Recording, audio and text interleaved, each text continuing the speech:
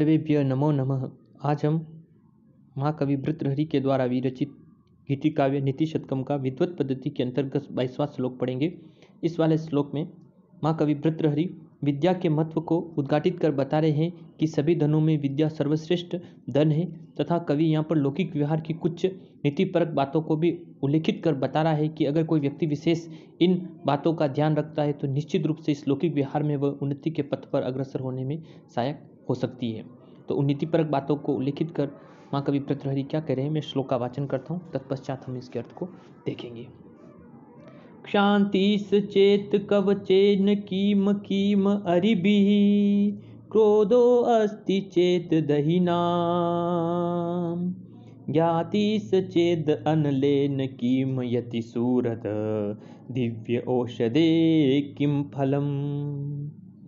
किम सर्पे यदि दुर्जनाः किं धने विद्या अनवेद्याय यदि। वीणा चेत किमु भूषणेषु कविता, यद अस्ति राजेन किम। क्या कह रहे महाकवि भ्रतृहरि? क्षांतेश चेत कवचेन कीम कीम अरिभि क्रोधो अस्ति चेद देहिनाम ज्ञातिस चेद अनलेन किम यदि सूरद। दिव्य औषधे किम फलम्? किम सर्पे यदि दुर्जनाः किं धनेर्विद्यानवेद्याय यदि वीणा चेत किमु भूषणेषु कविता यद अस्ति राजेन किम? श्लोक अन्वय इस तरह से होगा। देहिनाम क्षांति चेत कवचेन किम क्रोध अस्ति चेत अरिभि किम ज्ञाति चेद अनलेन किम यदि सुरद दिव्य औषधे किम फलम? यदि दुर्जना सर्फे किम यदि अनवध्या विद्याधने किम वीड़ा चेत भूषणे किम यदि सुकविस्ता अस्ति राज्यन किम क्या कह रहे हैं महाकवि भ्रतृहरि देहिनाम शांति चेत। यानी अगर किसी व्यक्ति या मनुष्य के पास शांति यानी क्षमा है माफ़ी का गुण है तो कवचेन किम यानी फिर कवच से क्या लाभ है? यानी कोई व्यक्ति विशेष अगर क्षमा रखता, अगर कोई व्यक्ति विशेष उसका अपकार भी करता, बुरा भी करता, लेकिन फिर भी व्यक्ति विशेष उसको कुछ भी नहीं करता, उसके प्रति कोई प्रतिकार की भावना नहीं रखता, वो सारे विचार ईश्वर पर छोड़ देता है। तो इस प्रकार से देहीनाम शांति चेत, यानी ऐसा व्यक्ति विशेष जिसमें क्षमा का भाव है। कोई व्यक्ति उसका चाहे कितना भी बुरा करे, लेकिन फिर भी वह व्यक्ति विशेष कभी भी उनसे उस बुराई के बदले कभी भी उसका बुरा करने का विचार नहीं रखता। वो सारे उन भावों को ईश्वर को समर्पित कर देता, ईश्वर परिधान कर देता। यानी अपने उन सारे व्यक्तियों की बुराई को, कोई व्यक्ति उसका बुरा सोचता है, लेकिन फिर भी वो अपने सारे कर्मों को ईश्वर परिधान करता है, ईश्वर के ऊपर छोड़ देता है। तो ऐसे व्यक्ति के लिए कवचन की यानी ऐसे व्यक्ति के लिए कवच से क्या लाभ क्योंकि उस व्यक्ति विशेष का जो क्षमा का भाव होगा तो उसे व्यक्ति के कोई शत्रु ही नहीं होंगे, क्योंकि वह व्यक्ति सबके प्रति क्षमा का भाव रहता है, उसका सरल स्वभाव ही उसके लिए कवच का कार्य करेगा। क्रोध अस्ति चेत, और अगर किसी व्यक्ति के पास अगर क्रोध है तो अधिभी ही किम फिर शत्रु की क्या आवश्यकता यानी अगर कोई व्यक्ति इसे छोटी छोटी बातों पर क्रोधित हो जाता है तो फिर शत्रु की कोई आवश्यकता नहीं है, क्योंकि उसके अनगित शत्रु बन जाएँगे। ज्ञाति चेत अगर किसी के बंधु बांधव है तो अनलेन किम? फिर अग्नि से क्या लाभ? यानी कहने का तात्पर्य कि अगर किसी व्यक्ति विशेष के अगर बंधु बांधव है तो वे अग्नि के समान कार्य करते कहने का तात्पर्य कि बंधु बांधव वर्ग ही क्या करते हैं? उस व्यक्ति के अवनति के मार्ग में अग्रसर करने का सहायक होते हैं, क्योंकि बंधु बांधव हमारी कमज़ोरी जानते हैं और बंधु बांधव भी ही हमें अवनति के मार्ग को प्रशस्त करने में सहायक होते हैं। फिर करें हैं यदि सूरदय दिव्य औषधि किम? सूरदय। सूरदय का होता मन से अच्छी भावना वाला। सूरदय शब्द मित्र के संदर्भ में यानी अगर किसी व्यक्ति के पास अच्छा मित्र है, सत्य आचरण वाला मित्र है तो दिव्य औषधि किम फलम? फिर उत्तम औषधि से क्या लाभ है? कहने का तात्पर्य, किसी व्यक्ति विशेष के अगर उत्तम आचरण वाले मित्र हैं तो वे उत्तम आचरण मित्र उसके लिए औषधि का काम करेगा। जिस प्रकार से कोई बीमारी होने पर औषधि के द्वारा उस बीमारी से व्यक्ति निरोग हो जाता है, उसी प्रकार से अगर अच्छे व्यक्ति की संगति और अच्छे मित्र अगर किसी व्यक्ति के होंगे तो निश्चित रूप से वे उसके लिए दिव्य औषधि का काम करेंगे। यदि दुर्जना सर्पे किम फिर माँ कभी व्रतरहरी करें कि यदि दुर्जन किसी व्यक्ति के मित्र हैं तो सर्पे किम, यानी सर्प की क्या आवश्यकता है? कहने का तात्पर्य, अगर किसी व्यक्ति विशेष के मित्र दुष्टता के रूपी स्वभाव वाले हैं तो उस व्यक्ति विशेष के लिए सर्प का काम करेंगे और उस व्यक्ति की संगति करने पर वे व्यक्ति विशेष जो दुष्ट के साथ रह रहे हैं तो उनके लिए भी वह अनैतिकता के मार्ग को प्रशस्त करने में सहायक होंगे। यदि अनविद्या विद्या, यानी किसी व्यक्ति के पास अनविद्या, यानी निर्दोष विद्या है तो विद्या है तो धने किम यानी फिर धन से क्या लाभ है? यानी अगर किसी व्यक्ति विशेष के पास अगर निर्दोष विद्या है। कहने का तात्पर्य, अगर किसी व्यक्ति विशेष के पास प्रशंसनीय विद्या है तो धन की क्या आवश्यकता है? क्योंकि विद्या ही सकल ऐश्वर्य की जननी होती है और विद्या के द्वारा ही व्यक्ति सभी प्रकार के ऐश्वर्य को प्राप्त कर सकता है। विद्यावान व्यक्ति की हर जगह पूजा होती है। फिर कभी बता रहा है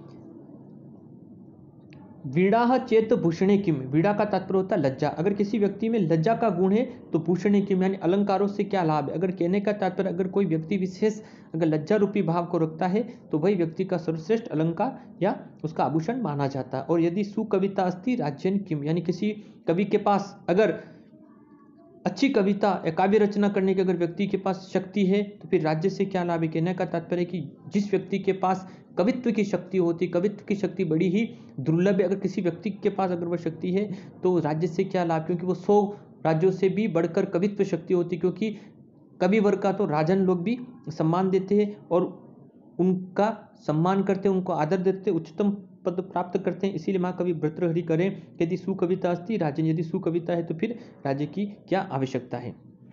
इस प्रकार माँ कवि भ्रतृहरि यहाँ पर लोगों के हितकारी एवं अहितकारी कार्यों को उल्लेखित करते कहते हैं कि यदि किसी व्यक्ति के पास देहीना, शांति, चेत, कवचेन किम यानी किसी व्यक्ति के पास अगर क्षमा का गुण है तो फिर कवच धारण करने की आवश्यकता ही नहीं है, क्योंकि जो क्षमाशील है, उसके शत्रु ही भी नहीं होंगे, वो व्यक्ति किसी के भी अपराध को क्षमा कर देगा।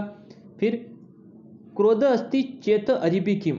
यदि व्यक्ति क्रोधित है तो शत्रु की कोई आवश्यकता नहीं, क्योंकि जो हानिप्रद कार्य शत्रु करेगा, वही कार्य उसका क्रोध कर दे क्योंकि क्रोधित स्वभाव होने पर व्यक्ति के लिए वह बड़े ही अवनैतिकता के मार्ग को प्रशस्त करता है। क्रोधी व्यक्ति के बहुत सारे शत्रु बन जाते हैं कि क्रोधी व्यक्ति का सबसे महान शत्रु होता है।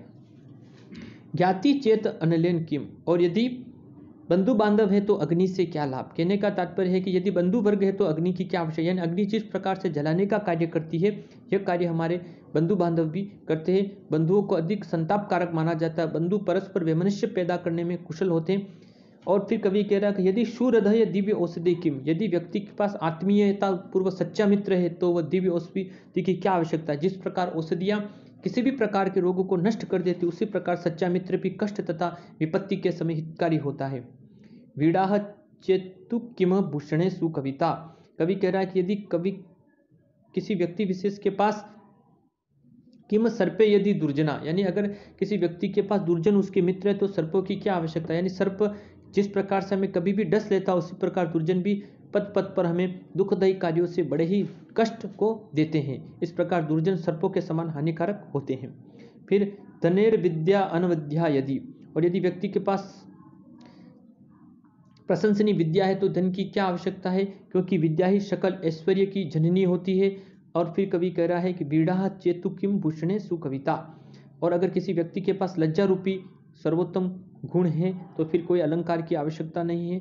और सुकविता यथस्ती राजेन की और यदि किसी कवि के व्यक्ति के पास उत्तम कविता की रचना शक्ति है तो राज्य से क्या लाभ? सुकवि भी राजा को आदर देते जो सुख राज्य प्रदान करता उससे भी सुख कवि को अपने काव्य से प्राप्त होता है। इस प्रकार से उक्त श्लोक में कवि ने क्षमा को कवच, क्रोध को शत्रु, बंधुओं को अग्नि के समान, मित्र को दिव्य औषधि, दुर्जन को सर्प, विद्या को धन, लज्जा को आभूषण तथा श्रेष्ठ कविता को राज्य प्राप्ति के रूप में प्रतिपादित करने का प्रयास किया है। उक्त श्लोक में साधुल विकृक्षण और अर्थोपति अलंकार की छटा भी विद्यमान है। साथ ही में प्रसाद गुण और वेदरबी रीति का भी प्रयोग माँ कवि वृत्रहरि ने उक्त श्लोक में किया है।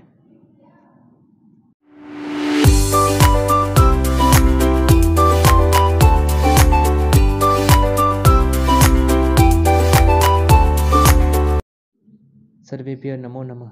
आज हम माँ कवि भृतृहरि के द्वारा विरचित गीति काव्य नीति शतकम के अंतर्गत विद्युत पद्धति का तेईसवा श्लोक पढ़ेंगे। इस वाले श्लोक में अब माँ कवि भृतृहरि लोक व्यवहार में कुशल व्यक्तियों को इस लौकिक जगत में किस प्रकार का व्यवहार करना चाहिए, किस प्रकार से लोक व्यवहार में कुशल व्यक्तियों से इस संसार की गतिमानता रहती है, किस प्रकार से यह संसार चलता है तो उन लोक व्यवहार की बातों को कवि या उक्त श्लोक में उल्लेखित कर रहा है। इन लोक व्यवहार के द्वारा अगर हम इनका ध्यान रखते हैं तो निश्चित रूप से ये हमारे जीवन पथ को आगे बढ़ाने में बड़े ही सहायक होते हैं। तो माँ कवि क्या करें? मैं श्लोक का वाचन करता हूँ, तत्पश्चात तो हम इसके अर्थ को देखेंगे। क्या कह रहे माँ कवि भृतृहरि दाक्षिण्यं सवजने दया परिजने, साड्यं सदा दुर्जने, प्रीतिः साधुजने नयो नृपजने विद्वजने च आर्जवम्। शौर्यं शत्रुजने क्षमा, गुरुजने, नारीजने दृष्टता, ये च एवं पुरुषा कलासु कुशला तेषेव इव लोक स्थिति। श्लोक अन्वय इस तरह से होगा। सवजने दाक्षिण्यम परिजने दया, दुर्जने सदा साठ्यम साधु जने प्रीति नृपजने नय, विद्वजने आर्जवम शत्रुजने शौर्य गुरुजने क्षमा ये चे पुरुषा एव कलासु कुशला, तेसु एव लोक स्थिति। सवजने दाक्षिण्यम। यानी सब जने यानी अपने जो आत्मीय जन है अपने जो बंधु जन है उनके प्रति हमें उदारता का भाव रखना है। यानी माँ कवि प्रत्रहरि के कहने का तात्पर्य कि सब जने दाक्षिण्यम, यानी अपने आत्मीय जन अपने बंधु जनों के प्रति हम हमेशा उदारता का भाव रखें और परिजने दया और हमारे जो भी परिजन है, यानी हमारे जो भी सेवक गण है, जो हमारे सेवा ससुरा का कार्य करते हैं, उन पर कृपा भाव, दया का भाव रखें। यानी उनका शोषण न करें, उनके प्रति हम दया रखें और उनका भी ध्यान रखना है हमें। दुर्जनम सदा साक्षम और दुर्जनों के साथ सदा सत्यता का व्यवहार करें। दुर्जनों रूपी व्यक्तियों के साथ दुष्टता का ही व्यवहार करना चाहिए ताकि वो हमारा कोई अहित न कर पाए। साधु जने प्रीति है और सज्जनों के प्रति प्रतिभा प्रेम का व्यवहार रखना है। सज्जन व्यक्तियों के प्रति बड़ा ही सरल स्वभाव रखे सज्जनों के प्रति। और निरप्रजने नय और राजा के साथ अगर हमारा संबंध है, प्रभावशाली व्यक्ति के साथ अगर हमारा संबंध है तो उसके प्रति नीति का, नीतिपरक बातों का ध्यान रखना उसके साथ अगर हम संबंध रखते, उससे बातचीत करते, प्रभाव से तो नीतिपरक बातें ही करनी है। उनसे नीति रूपी बातों का हमें बहुत बड़ा ध्यान रखता है। नैतिकता रूपी व्यवहार हमें उनके साथ करना चाहिए, क्योंकि राजा के साथ अगर हमारा व्यवहार है तो राजा तो प्रभावशाली होता है। अगर हमें साथ कोई भी अनुचित व्यवहार करेंगे तो निश्चित रूप से वो हमें दंड दे सकता है। इसे राजा के साथ नीतिपूर्वक व्यवहार करना चाहिए। विद्वजने आर्जवम। फिर कभी यहाँ पर बता रहा है कि जो विद्वान जन है, उनके प्रति आर्जवम का भाव रखते विनयशीलता रखें, क्योंकि विद्वानों से अगर हमें विद्या प्राप्त करनी है तो विनयशीलता का गुण रखना बड़ा ही आवश्यक है। कवि कहता भी है कि विद्या ददाती विनयम, यानी विद्या ही विनय को देती है। इसीलिए गुरुजनों के प्रति विनय भाव क्षमा का भाव रखें। फिर कवि बता रहा है शत्रु जने शौर्यम और शत्रु के प्रति शौर्य का भाव रखे। यानी अगर शत्रु से अगर मैं विजय प्राप्त करनी है तो उसके प्रति शुरता का, पराक्रम का भाव रखना है, तभी हम उसको पराजित करने में सहायक होंगे। इस प्रकार से कवि कहता है ये चे पुरुषा एवं कलासु कुशला, यानी जो पुरुष इन कलाओं में प्रवीण है, उन पर ही तेसु एवं लोक स्थिति, उन्हीं पर संसार की मर्यादा आश्रित है। यानी कवि के कहने का तात्पर्य है कि सब जन्य दाक्षिण्य, यानी कभी कहें कि यदि मानव अपने जीवन में सफलता प्राप्त करना चाहता है तो उन्हें किस तरह से व्यवहार करना चाहिए? इन्हीं बातों को कभी बता रहा है कि व्यक्ति को अपने भाई बंधुओं के साथ हमेशा उदारता का व्यवहार करना चाहिए, विपत्ति में हमेशा उनकी मदद करनी चाहिए। परिजने दया और परिजनों, यानी सेवक गुणों के प्रति दया का भाव रखना चाहिए। उनके प्रति दया का भाव रखते हुए उनको भी मानव समझते हुए उनकी भी दुख के समय उनकी मदद करनी चाहिए और दुर्जने सदा साट्यम यानी व्यक्ति को दुर्जनों के साथ सदा सत्यता का आचरण करना चाहिए, क्योंकि सटों के साथ सत्यता का व्यवहार करने पर ही वे नियंत्रित रहते हैं। और साधु जने प्रीति है। यदि व्यक्ति सज्जन है तो सज्जन व्यक्तियों के प्रति हमें प्रेम भाव रखना है, उन्हें आदर देना, उनके प्रति स्नेह का भाव होना चाहिए और निरपजन्य नय और व्यक्तियों को राजा के प्रति नीतिपूर्वक व्यवहार करना चाहिए सदाई विद्वानों के साथ आदर एवं सरलता का व्यवहार करना चाहिए और दुष्टता का भाव विद्वानों के प्रति कदा भी नहीं रखना चाहिए। शत्रु जन्य सूर्य, यदि व्यक्ति अपने शत्रुओं से भयभीत नहीं होगा एवं उनके साथ सूर्य का प्रदर्शन करेगा तो वे निश्चित उसकी शक्ति बढ़ेगी और फिर कभी कह रहा है गुरुजन क्षमा और गुरुजनों के प्रति क्षमा का भाव रखें। यानी यदि किसी कारणवश हमारे गुरु जी की जो कि हमें से ज्ञान वृद्ध आयु वृद्ध या अनुभव वृद्ध हैं, अगर हमसे नाराज़ हो जाए तो भी हमें उनके प्रति कभी भी क्रोध न कर उन्हें क्षमा पूर्वक व्यवहार करना चाहिए, उनके प्रति क्षमा का भाव रखना चाहिए, गुरुजनों के प्रति, ताकि हम उनसे ज्ञान को प्राप्त कर सकें। इस प्रकार ये चे पुरुषा एवं कलासु, यानी जो पुरुष इन कलाओं में निपुण हैं, जो इस तरह के व्यवहार का करते हैं, निश्चित रूप से यह सारी लौकिक जगत इन्हीं व्यवहारों पर आश्रित है। लोक मर्यादा की रक्षा करने में वे समर्थ होते हैं। इस तरह से माँ कवि हरि बता रहे हैं कि लोक व्यवहार कुशल बनने के लिए और जीवन में सफल होने के लिए व्यक्तियों को उक्त उल्लेखित आचरण का करना आवश्यक है। उक्त श्लोक में सादुल विकृत छंद और काव्यलिंग अलंकार की छटा, साथ ही में प्रसाद, गुण और वेदर्भी रीति की छटा भी विद्यमान है।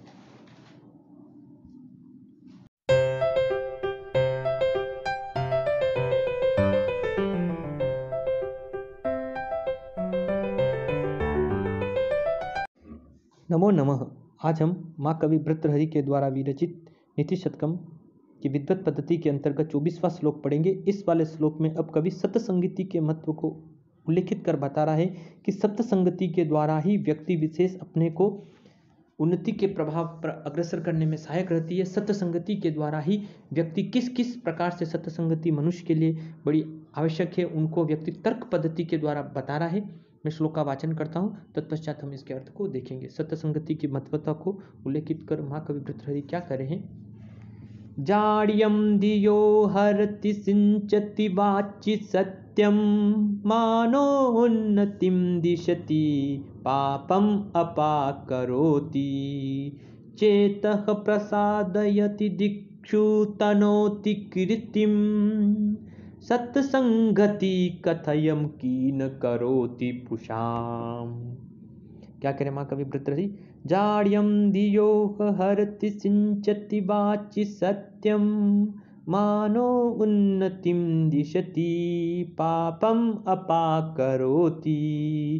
चेतः प्रसादयति दिक्षु तनोति कृतिं सत्सङ्गति कथय किं न करोति पूषाम। श्लोक का अन्वय इस तरह से होगा।